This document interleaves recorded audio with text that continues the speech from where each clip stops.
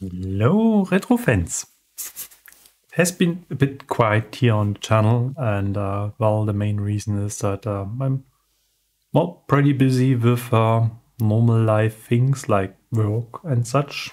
So I had to um, cut short my um, well spare time interests a little bit um, because it is actually well a bit challenging, a bit demanding with all the crazy things going on uh, here in Europe, and uh, yep. But um, I still kept an eye on uh, what's going on in the C64 scene, and uh, the main well source is actually well as usual Forum 64, and um, I was able to get some new well deliveries uh, and uh, there has been some new projects going on. And um, yeah so i thought it's about time to well have some progress in this area. And uh, therefore i thought well let's get back to the basics do some soldering do some testing of stuff and um, trying to well build up some momentum. I'm not sure whether I can uh, keep it for a while uh, because, well, as I said, things are quite crazy here right now, and uh, there's so much going on that it is sometimes a little bit hard to stay focused on certain things, and uh, therefore, yep. Long story short, uh, let's move on and see what's uh, on my desk right now. And um, here we go. I well, it looks a bit weird. uh, I had to install so many updates on my PC. I haven't used it for well, I think two months or something like this. And uh, things I really recognized is that um, OBS stopped to work. Uh, my Loupedeck controller stopped to work. I had uh, to update my NVIDIA drivers and so many things and uh, Windows updates on top. So it took me about two days to get through this uh, in, in total. But uh, now it's actually working again, and I was uh, brave, maybe a bit too brave, and went for the NVIDIA background removal feature in OBS and uh,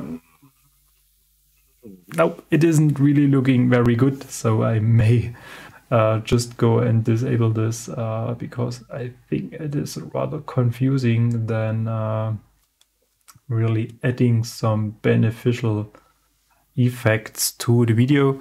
Um, I had used NVIDIA Broadcast as a standalone application and routed the uh, video signal through this into OBS. And uh, there was a, a, background blur feature, but uh, within OBS there's just background removal. And as you have seen, it isn't working as good as I wanted to be. Primarily, I think uh, because of the mix, I back I am wearing back uh, black gloves. I have a black chair. I got some black stuff in the background, and um, that's kind of interfering but uh, well, anyway, that's actually not what I was uh, going to do today. As you can see, I got a bunch of parts on my desk, and uh, this is actually very interesting project. Um, it feels like it's yet another diagnostic uh, cartridge thingy, and uh, there are actually a couple of them already but um, this one has some, let's say, eye-catching features, and uh, therefore I was really interested in to get this on my desk. And the very first thing we have to do is actually, well, solder it. So I think I got everything in place. So uh, just need to populate the ICs now.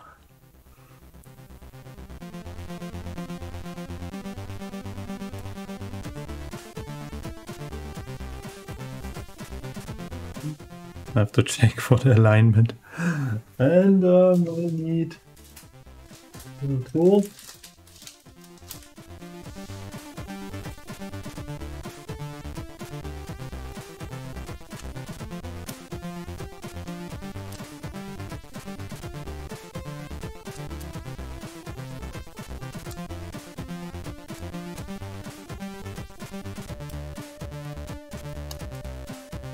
much better. And the prom.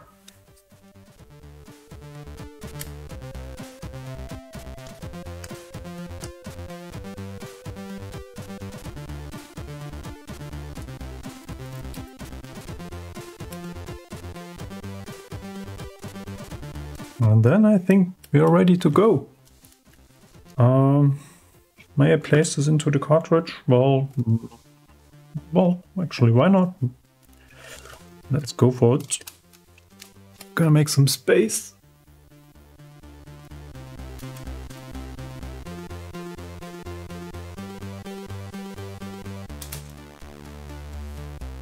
So.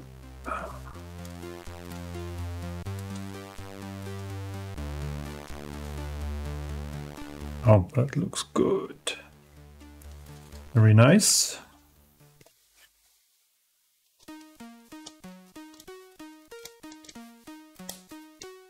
Medicase isn't perfect in terms of print quality. it's actually a little bit reluctant to stay together, but uh, we'll see.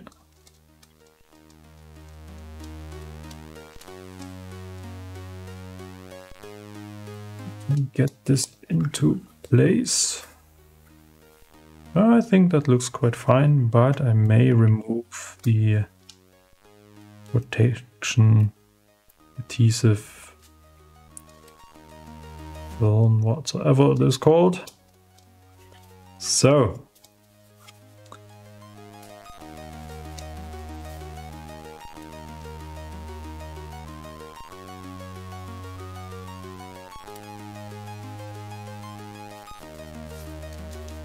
Nice and compact. Let's make some space here.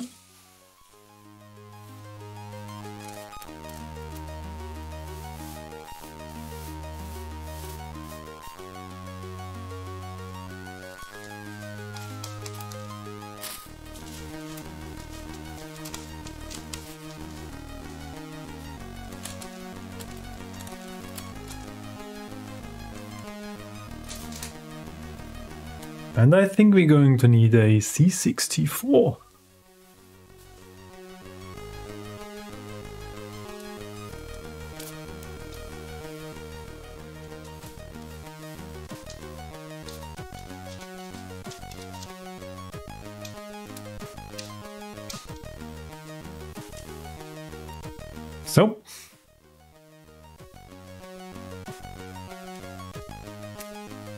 May need some video signals as well. um,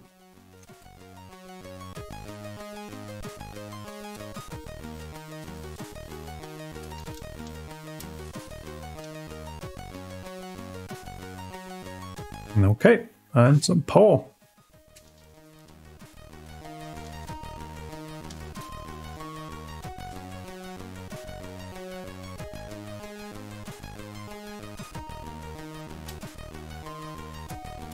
Power supply is off.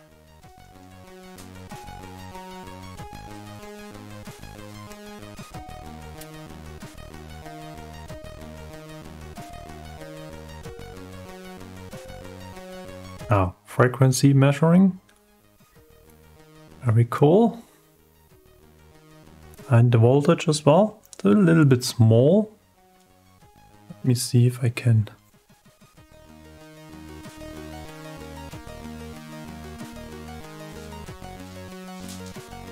modify this a little bit.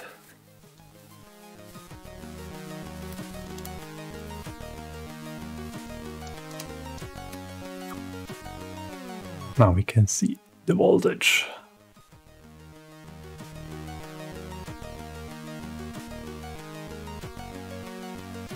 And there's supposed to be some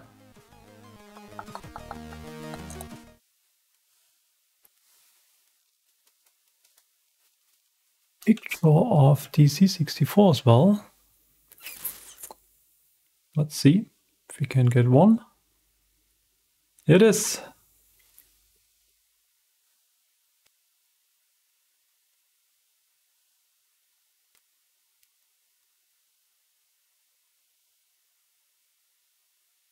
That looks funny.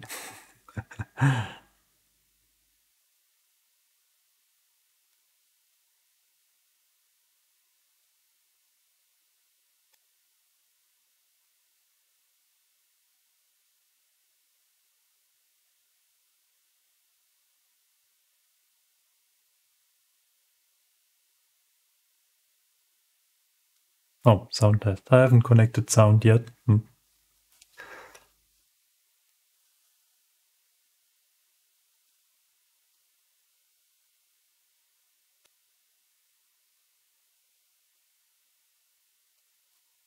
And uh, it cycles through all of the tests. And uh, as I understand, there are different tests as well. So if we're going to change this and reset,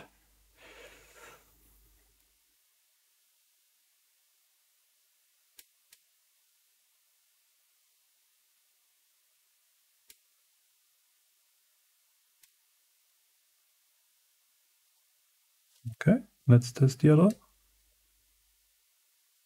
Ah, it jumps directly into this.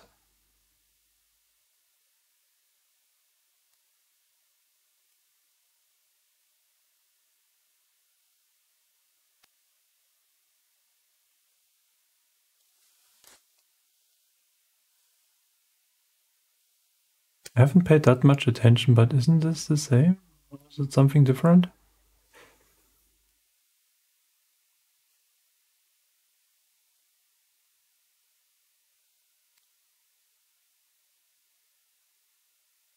Ah, it's different indeed, yes.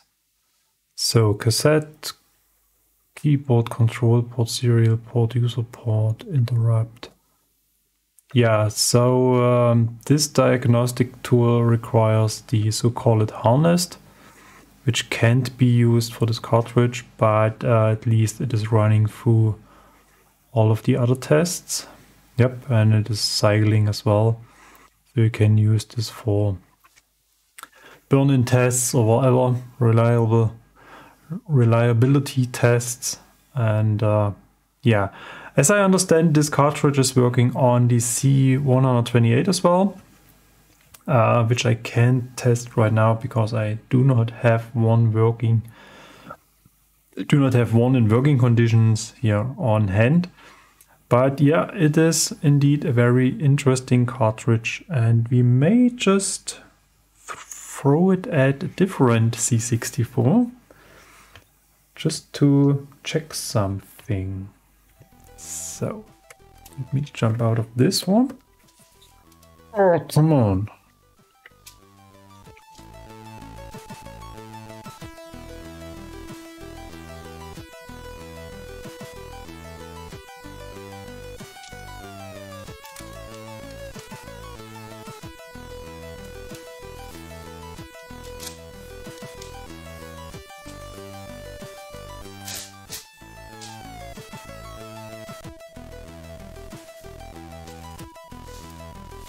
Let's see what we get on this system here.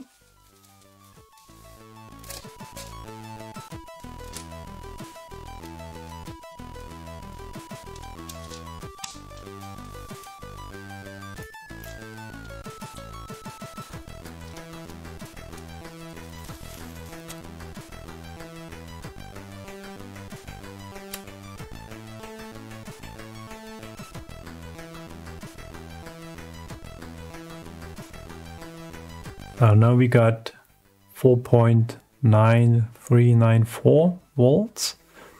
Uh, and uh, that's actually a different power supply. So we can see a difference. And uh, yeah, that's that's pretty interesting. So let's see if it is doing something as well. Yeah, it is. Yep, very cool. So that's actually supposed to be a shorty, a short video, a vlog, whatever we want to call this. And uh, That's actually what I had in mind for this episode. So I'll post the link to the Forum 64 and uh, the GitHub page. I think there was one into the description. I'm looking forward to your comments. So let me know if this is something you um, consider as useful. And uh, yeah, as usual, thanks for watching. Thanks for sub- subscribing. Thanks for supporting me. Uh, feel free to consider this if you haven't done so yet. And uh, yep, let's see what I have in preparation for the next episode. As usual, thanks for watching. Bye bye.